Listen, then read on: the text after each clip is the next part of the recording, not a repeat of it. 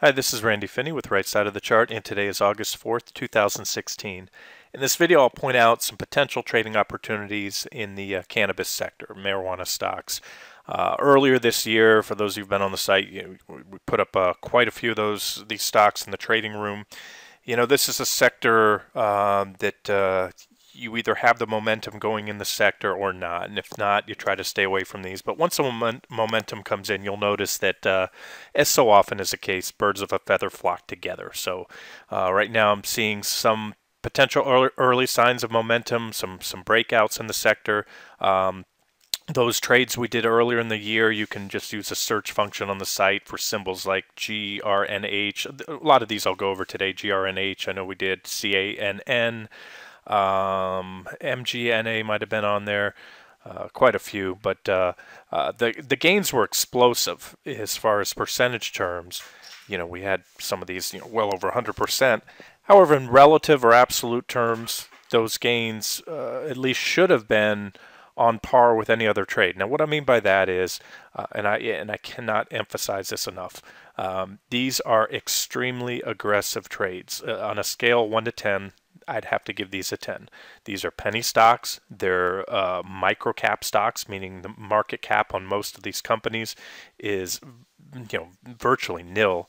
You know, in some cases, you know, well under you know even under a million dollars. So that's that these are very thinly traded stocks some of these uh, others have volume uh, so i want to impress that point that uh, you know number one if you're not an aggressive trader uh, or at least you don't want to allocate a little portion of your funds to these aggressive trades then you may want to stop the video right now and just save yourself the next 10 minutes or so and do something else there are a few uh, um, concepts in trading and things I'll point out that apply to trading these stocks that, that also apply to any stocks in general, any stock trading. So I'll get into that and let's start out with that. Uh, that way, if you don't really care about the trade ideas, you know, these uh, same concepts in trading these marijuana stocks may apply uh, again uh, elsewhere in your trading. Uh, so number one, these are aggressive, and as I often harp on, I use a term called beta adjusted position sizing that says you should adjust the position size on your trade up uh, usually down, sometimes upwards if it's a low low volatility security. But uh, in this case, uh, what I'm getting at is adjust it down for the amount of risk that you're taking or the expected volatility. So in this case, and I'll just use a throw out a broad example. If you're going to trade, typically you like to trade in lots of $10,000 at each position. Uh, on any of these stocks, you would probably want to go no more than $1,000, maybe even $500. And I know that doesn't sound like much, but if you're looking at gains measured in the you know high double to triple digits, um, then your profit potential is about on par what it would be with a regular you know ten thousand dollar trade that goes up you know eight ten percent, and likewise in trading these if you you know typically let's say you target 10 12% on a trade and you allow yourself 3 4% stop loss just using an example on a normal trade well, you can't run these stocks. You can't trade these stocks with a three or four percent stop loss. Very often, the spreads alone are larger than three or four percent on these. Uh, so, if my point is, if you're shooting for a 50 or 100 percent return, uh, you need to allow yourself a 20, you know, 30 percent stop loss on uh, these trades. So that's point number one. Beta adjust down. Um, your percentage gains will be a lot higher and percentage losses. But then at the end of the day, your total loss, if wrong, or your total profit should be right in line with any other trade. Um, the other thing I would recommend on these is to use limit orders. A lot of these are low priced and some of these penny stocks trading under a dollar a share. Um, so always check the spreads anytime you trade a stock. And if you see a spread more than just a penny or a couple pennies apart, uh, I find it best to use limit orders on those to buy and to sell. Otherwise, you're opening yourself up if you place a limit order. Some brokers won't even accept a limit order on these low price stocks, but if you, if you are able to put that through, they can fill you just about anywhere because uh, there might not be uh, another trade on the other side of the market ready to fill you at that time. So uh, you might put a, a, trade in and see yourself immediately filled, you know, 10% or more below what the uh, what the bid price was at the time. So uh, limit orders and um, beta adjustment.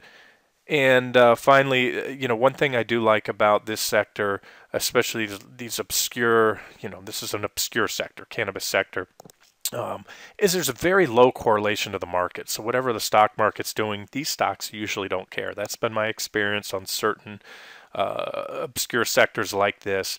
Uh, you really doesn't doesn't matter what the broad market's doing. In fact, I, have often noticed that maybe the broad market's in a sell-off, and these are actually doing well. People flock to these. Uh, so uh, again, you're maybe a little bit protected there if we have a sell-off. But with that being said, I, I you know, I know I spent a lot of time on hammering out the disclosures here and the disclaimers and the risk factors. Those cannot be underestimated. Another thing to note when you look at a chart and you see, look at the on this one, we're at CCAN, you see these candlesticks and look how odd these are. Very, this is thin trading. This is uh, back then, and you can also see on the volume. And then when you look forward more recently, you see the candlesticks are, although very, you know, big price swings on this one. You see the volume is coming into the stock lately, uh, and you start to see these candlesticks look a little more normal. And uh, that's something that's always a red flag. If I look at a chart or, or any of these you see, that's just going to tell you right there there's very thin trading and the spreads between the bid and ask are thin, and that's why you have these funky, candlesticks. Some days you have very few, if any, trades in the stock. So you want to ideally stick to stocks that have volume and more normal looking candlesticks like that because the liquidity be a little bit better. All right, one final thing is when you have large price swings on any security, what happens is you can see the MACD down here. It looks flatlined along the zero line, even if I zoom in here. Uh, it gets a little better at this point, but I'm going to use a, a PPO in the case of these stocks, which is very similar to a MACD, but will do a better job of you can see the MACD flattened out behind here. When you have any security with a large range in price or large price swings, PPO usually works a little better. So we'll use that uh, and then move forward. All right, let me just dive into these trade ideas. Uh, they're all unofficial because they're uber aggressive. Um, CCAN, can, uh, Canadian Cannabis, looks like a break over this, da this downtrend line would uh, spur a rally in that one. I don't have an actual price target, but it'd probably be up to about that 128 or so level, maybe a little bit higher, if this sector continues to catch a bid and you want to see volume come in. This one, Cannabis Science, CBIS, you can see uh, it's it's just trades very well in this series of downtrend lines. It trades well to the technicals, in other words. You have these pretty well-defined downtrend lines and the breakouts. Those breakouts, as you uh, notice back here, I have the volume bars muted down somewhat, but if uh, if I, I highlight that, you can see this increase in volume there. You can see the increase in volume here on the breakout. So those are things in trading in general you want to see. If breakout of a downtrend line, you want to see it confirmed with volume. And because this is a momentum sector, these suckers can run. If you're going to trade them, uh, you better you, you need to move quick. You can see this one shot up, you know, in one day. Uh, you know, what is that percentage terms from just in one day alone from the lows to the highs, I'm just rough estimating here, is about 150% move. Uh, this one, most recently, broke out. And this is the theme I'm seeing. You see a breakout, you can see the volume bars down here. I have the volume bars a little muted down, but I think you can make those out. Just like these previous breakouts, it's on above average volume, confirming. This one broke out, back tested, and now appears to be moving higher. After back testing, it took out these, these recent highs right here. Uh, so this one looks good, and my price target would be to this longer term downtrend line. We need to flip out to a two-day period chart, and you can see that downtrend line coming in off this reaction high, reaction high, three, four. Uh, so that would be the next target. Ideally, I don't see a lot of very well-defined horizontal uh, resistance, although I will say there is some here. Let's go ahead and add a line. I see some reactions back here, some reactions around here, and that that comes in about the 1.9 cent level. In other words, just below two cents a share. Remember, this is a very low price. That's not, you know, that's a, a penny, you know, 1.7 cents a share uh, on CBS. But anyways, chart looks pretty good. Uh, and what I also like to do, one other uh, tip for trading this type of sector is I take a shotgun approach. You can take your favorite pick if you decide to go this route, but what happens is that one may or may not pan out. Uh, so my preference is take you know a half dozen or so names you like, sprinkle a little cash in each one.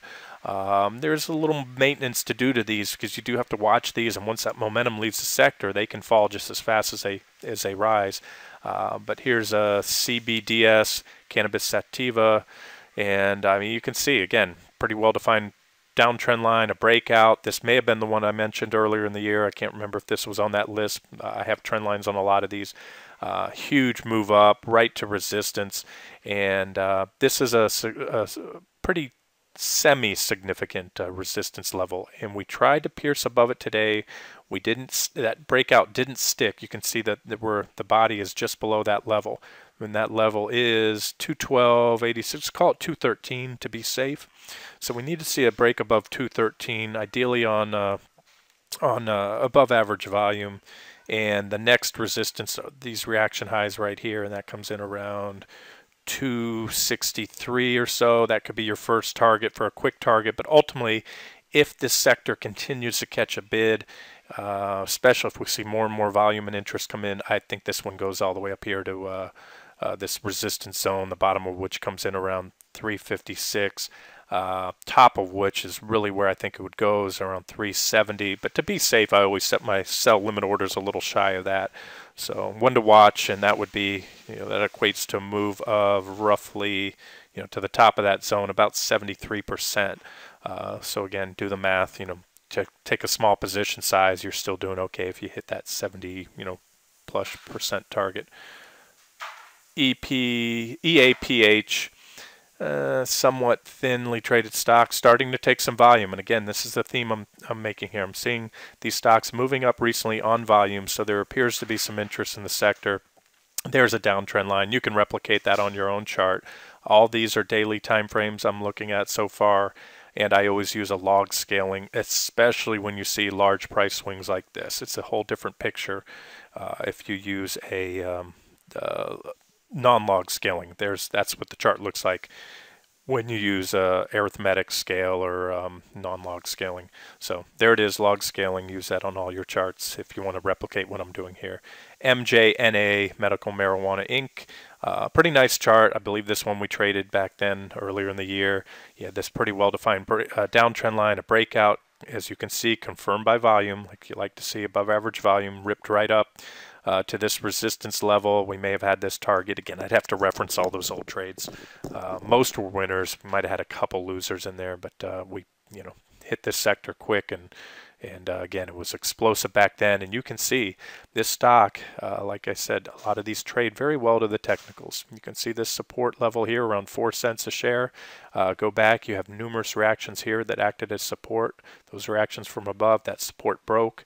The stock came above it acted as support again, acted as resistance from below down here. And this is really a support zone when I have two lines in close proximity.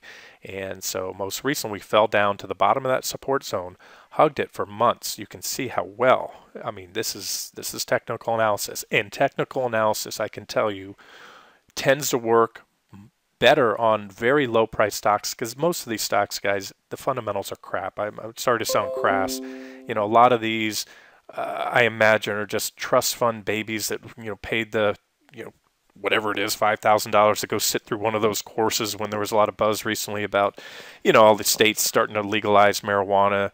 Um, yeah, we got a pres- presidential election coming up. I imagine Hillary might be more favorable to uh, you know uh, or more liberal with the marijuana laws, who knows? Who knows what's going to happen on the political sphere? I won't even get into that. I probably shouldn't even have mentioned that, but uh, maybe that's that's why these things are being bid up here. Um, so, and ultimately, some of these companies could turn out to be huge winners. When you trade penny stocks, you just have to spread it all around there. Don't put too much in because the vast majority of these stocks will uh, probably don't have a sound business model and probably end up going nowhere. But for trading ops, in and out, here are your levels. Uh, this one has already run up to resistance. That would be six cents a share, around the six cent level. And uh, if it takes that out, uh, the next move would be, or the next resistance level or target would be about that 7.5 cent level. And uh, we have another target up here. I haven't really finalized targets on this one, but let's just look at that right now. Focus on that 7.5 cent level. Uh, GRNH is the next one. This one we definitely traded back then. I like this chart. I'm going to flip over to a two-day period so you can see this longer-term downtrend line coming in. There was a bullish falling wedge pattern. Let's go back to the daily chart. We had uh, nice positive divergence at the low there. and uh, this one broke out. You can see a bull flag here. From the bull flag, you have the flagpole right here, consolidated after the breakout, and then exploded out of that bull flag pattern. And uh, if I recall right, I think that might have been the target that I had, the final target at eight, eight cents a share. And as you can see, just as quickly as they came, almost as quickly as it went up, they came back in, moved back down. This was a target at the time, I believe, the 50, uh, 5 cent level and uh, that acted as support recently and we can see this downtrend line coming in and resistance just above about six cents. To, so to be safe you want to see this one pop above six cents a share. If and when that happens I would expect a relatively swift move up to eight cents. Again look for volume to confirm. Next resistance after that is about the 9.4 9.5 level. And then of course that that previous reaction high we could certainly put a target there and again, it's like a game of musical chairs. As long as the momentum players are in this sector and as long as they're taking volume and moving up, they can continue to go up well beyond anybody's expectation. Uh, it wouldn't surprise me to see any of these stocks go up two, three hundred percent in just days or, or weeks. Uh, so the way to trade them, I know it's hard psychologically to see those big gains. You can set a trailing stop. If the momentum comes in, uh, let's say that you take this one on that break above six cents and you don't know whether to take full profits at 8 cents a share or let it ride, well, as it gets up there, you could always set a trailing stop. But best to keep an eye on these. I like to trade these uh, by watching those. Don't leave those stop loss orders on, on in place because they're thinly traded stocks. The market makers can see your order, come back in, pull the stock down just to clip your order, especially if you're trading a large enough size to make them worth it uh, to come down and get it. Uh, so keep that in mind. All right, uh, CGRW, not my favorite, but uh, something. Couple things to note here. There was a nice downtrend there. You can see the breakout.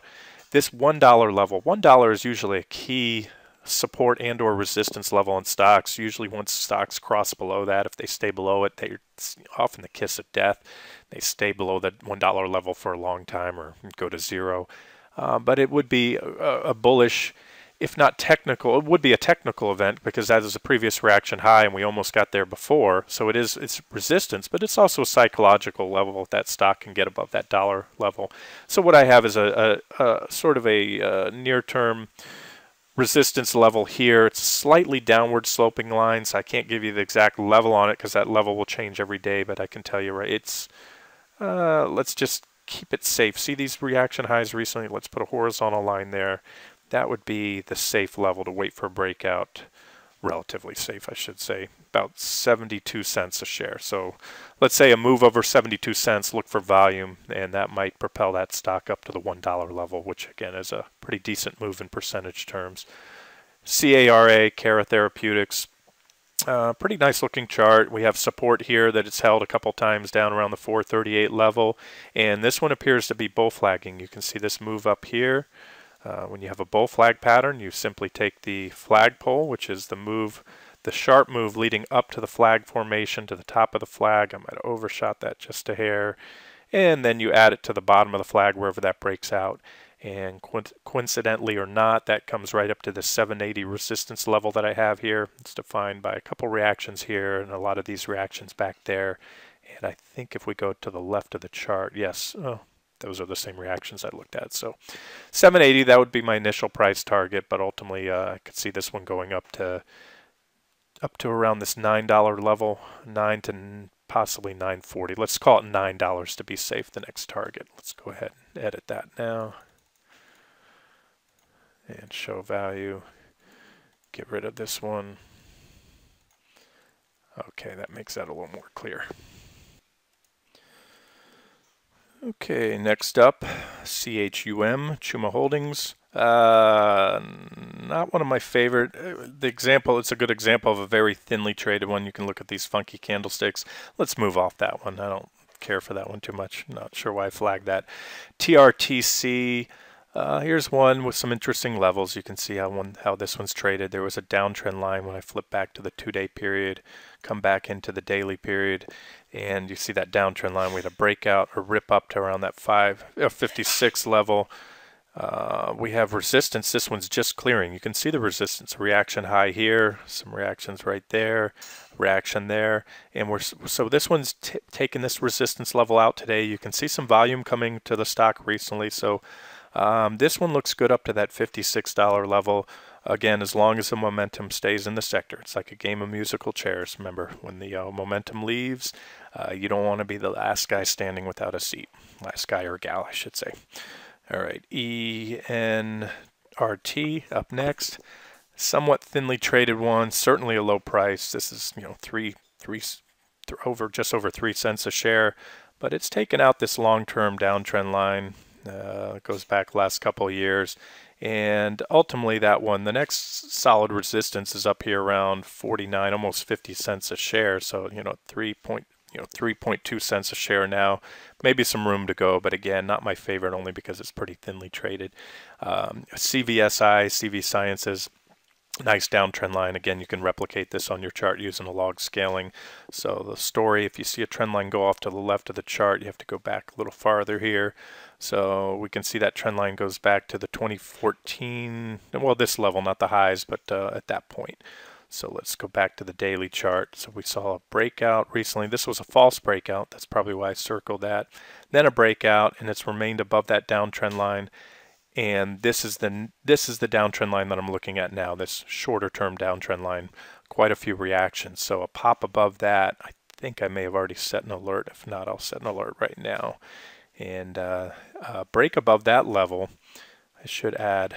We have two reactions right here these two reactions. Let's get rid of that circle from that false breakout.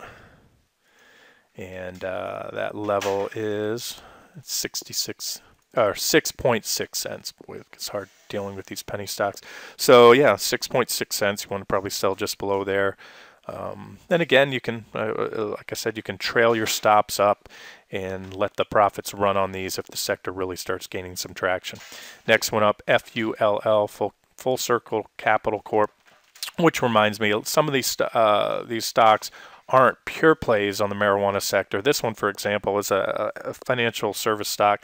And if I remember correctly looking into it, they loan money to a lot of these startup marijuana companies. So um, not a direct play. I don't believe they're selling or growing cannabis. Um, but again, they're profiting from the companies they're lending to. If the sector does well, maybe they do well. And, uh, and either way, a nice resistance level here around 274. It looks like it's been tapping up against. And uh, $3 would be the target on that one. CANN, General Cannabis Corp. This one I believe we did trade before. You can see I've highlighted here uh, the breakout. This was a nice downtrend line, bullish falling wedge pattern confirmed with divergences. Breakout on high volume confirmed, and that sucker ripped from there went up to that $2 level for about a 300 300% gain in just a matter of weeks uh, to give you an idea what these guys can do. It's come back down. And we're just above, this is a pretty significant support level here around 76. And uh, the sector starts to take some uh, some volume and, and, the momentum continues. This is, I think this one's a little bit bigger player, so it might have a good shot. I'm, i imagine they'll step in and buy this one and take it back up to a first target would be a dollar twenty, then two dollars, and ultimately, if it can break above there, this one's good to you know about the four dollar level, a little above that. AERO, AeroGrow. Uh, we need to go back a little bit longer term. You can see this downtrend line. So we had a nice downtrend line breakout, back test, a successful back test of that downtrend line, and prices are now moving higher. Uh, we had a divergent low at this point. I probably drew it on the MACD. I'll show it to you here on the PPO. Divergence confirmed on the RSI as well. So bullish divergent low uh, moved up. There it is, broke out of that uh, above the downtrend line, back tested, and is now moving higher. It's taken out these previous two reaction highs. You can see the resistance levels here. Uh, call it 330. Uh, which we tried to take out, but it fell back below. So I think the next move above, especially above this previous reaction high from what was that yesterday, that that should have cleared this level. This th yesterday was just a momentum overshoot. So look for the next move above yesterday's high of uh, was that 345? Yeah, 345, and that should. As long as the volume stays in this stock, propel it up to about the 408 level and ultimately my target on this one be uh, 483 around there. AMMJ, American Cannabis Company. Uh, another one we have to go back a couple years to see. It was very thin at this point, but it's been taking more and more volume, so the candlesticks have normalized. Same story, a breakout and a back test, although this one fell back below the downtrend line. And right now I'm looking at this downtrend line here. Uh, we have this downtrend line which it broke out back test, fell back below, but this one has really nice support around uh, 8, just over the 8 cent mark. Uh, so you could also take it, you know, right off that level with a stop not too far below. When I say not too far, everything's relative. You got to give it a little bit of room here on these guys because their intraday swings are are pretty volatile in percentage terms. You know, we're talking penny stocks, so you know a tenth of a cent is a pretty big move on a you know 10 cent share. Uh, but either way, you can see targets. If this one does go up, this would certainly be my first target here around uh, the 19, almost 20 cent level. So set your sell limit order a little bit below if you want to get out there. Otherwise, ride it up, trail a stop. 34 is the next target. And then you can see 52 and then 59. All right, next one up, DEWM. Looks pretty thin, uh, but it's at support. It has a pretty nice support zone here, and it's sitting right on the top of that support zone. There's the bottom of the support zone around, uh, this one's a fraction of a cent. This is 0.0017, the bottom of that support zone. The top is about uh, 0.0018. So you can take it off support. Again, super thinly traded, so not one of my favorite, but it's also uh, it has a nice downtrend line. It just hasn't taken any volume yet. Uh, so just one to keep an eye on, and if and when it does, my guess it goes up to that uh, 0, 0, uh, 0.003 cent level. EDXC, uh, somewhat thinly traded one, but uh, pretty decent downtrend line. Looks like a descending triangle pattern. And there's a stock you could take at support. It has support here around the uh, 0.0248 level. It's at 0.025, so just above support now. So there's one you could take on support, give it a stop a little bit below, or wait for a breakout of this downtrend line. Targets would be 0.0332, a little bit below that. These are the actual support or resistance levels. Next one, 0.0378 and then we'll just have to go from there again assuming the sector continues to take some uh, some volume and the momentum players are in it all right we're almost done here with these names. This is ERBB American Green a nice little descending price channel. Very thinly traded very cheap stock. This is one tenth of one penny so take it at your own risk. Any of these of course they're all risky. But uh, from the technicals again traders trade these stocks especially these you know sub one penny, sub one cent stocks. They're trading them on technicals and rarely on fundamentals. Sometimes if there's some news on the company, but I imagine this company has no future. That's just my guess, looking at the share price and I don't know what the market cap is, but you can see they, they trade them. You know, there's a this is a two-day period chart. So you had this downtrend line back here, and uh, that downtrend line was taken out, and the stock exploded, and the volume came into it and realized there was no value in that company. It just drifted down. The momentum was out of the sector, but here we are. We're setting up again with an even larger downtrend line with this little sub channel to watch. So that would be your first buy signal. Get back to the daily chart, pop over that level, pop over this level would take this one, I mean, easily up to this, you know, 0, 0.46 level and, you know, percentage terms, that's 400 and 400% or so. So worth it, you know, sprinkle a little cash if you want. All right, that's it. That's the only ones that I have that stand out. There's a lot out there. If anybody follows the sector, I would welcome any other attractive looking setups. And um, good luck if you take them and just, just don't get married to them if they go the other way. Use, use stops, uh, you know, with your own risk tolerance and uh, trading style. And uh, again, these aren't official trade ideas. I wouldn't put sub you know penny stocks on as official trade ideas. Just something to share for the uh, for those of you gunsling traders, I call it. All right, this has been Randy Finney with Right Side of the Chart. Hope you enjoyed it.